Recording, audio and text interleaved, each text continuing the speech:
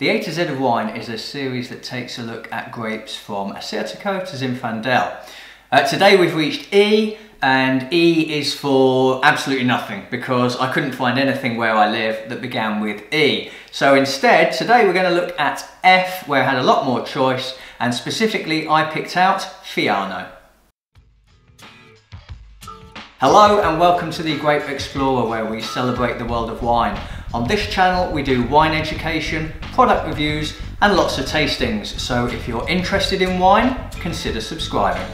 So like I say, today we're going to look at Fiano, which is a white Italian grape um, predominantly found in the Campania region of Italy and also found in Sicily as well although it is starting to be grown in, in other countries around the world. So somewhere like Australia, in the McLaren Vale, is somewhere you might start to find Fiano as well. Additionally, some winemakers in Argentina, uh, sort of just north of the Mendoza region, are starting to use this particular grape too.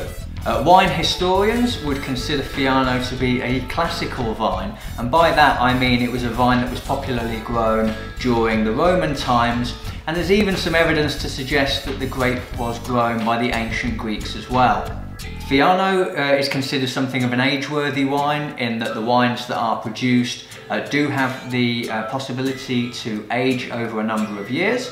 And those aged wines are going to develop kind of spicy, nutty aromas, where a younger Fiano is a little bit more floral, perhaps some honey as well. So what I've done is I've gone out and bought myself a Fiano for us to try today. Now, this particular wine is the uh, Fiano uh, from Sicilia, uh, Sicily, and it's from the 2016 vintage, uh, where it is grown on distinctive chalky white stone soils uh, which are going to give the wine an incredible minerality and freshness. So looking forward to getting into this one.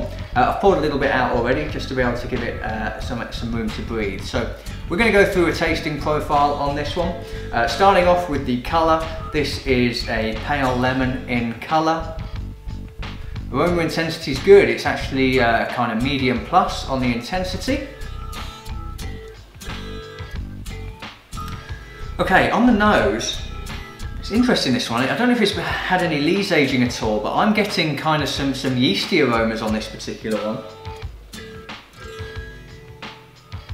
And then from a fruit perspective, I'm getting things like a pear and apple, but it is kind of floral. It's almost kind of um, herby actually. I, I, get the smell of like a, like a basil to it, something herby about this particular wine. So really nice uh, set of aromas, um, quite diverse uh, in their complexity. So let's say the aroma complexity is probably a medium plus as well. Um, and lots of different things coming through. Okay, we'll give it a bit of a taste then.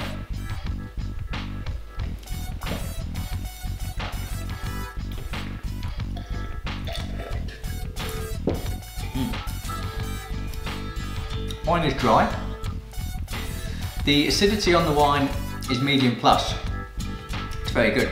Uh, flavour characteristics coming through are very much on the citrus fruit side of things. So I got a real feeling for grapefruit there um, as I was drinking that one. Uh, and I think that talks to the acidity of the wine. Um, grapefruit, obviously quite an acidic fruit. But there is a honey-like quality on the taste as well, which is really enjoyable. Um, this is particularly fresh. Uh, it's going to pair really well with, with things like seafood, as you would expect, um, or lighter white meats. Um, it is particularly fresh, particularly youthful, I think, this one. Yes, 2016. You know, I would be interested to buy a bottle of this and let it age for a few years to see if it does develop some of those nuttier aromas.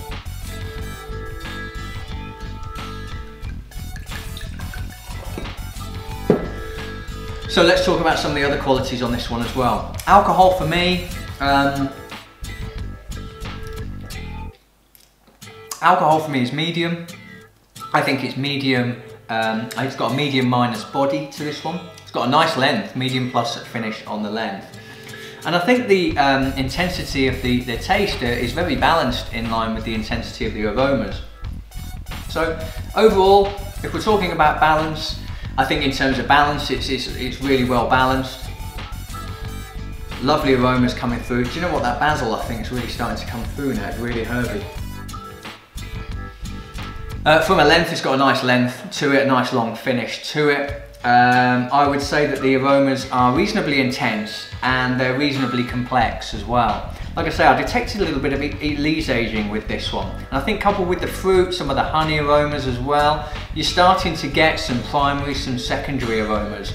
Clearly you could revisit this one in a few years time and, and, start to have some of those tertiary aromas as well. So I do think it's got a, a nice complexity.